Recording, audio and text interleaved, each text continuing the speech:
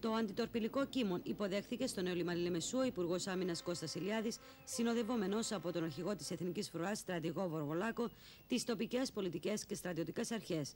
Ενώ άγημα του ναυτικού και των καταδρομών απέδωσε τιμές. Στην προβλήτα του λιμανιού βρίσκονταν πολίτες που καλωσόρισαν το κίμον με το δικό τους τρόπο.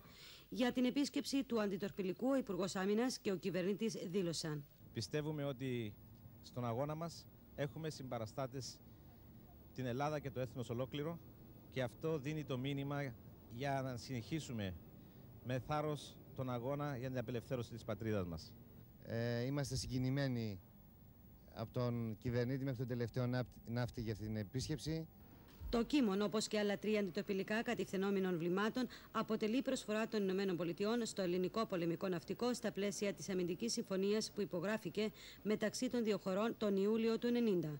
Το αντιτορπιλικό κείμον ναυπηγήθηκε το 60 και εντάχθηκε στο ναυτικό των ΗΠΑ το 62.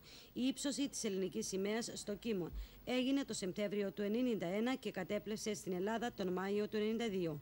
Στο λιμάνι Λεμεσού θα παραμείνει μέχρι την Κυριακή 21 Αυγούστου 1994.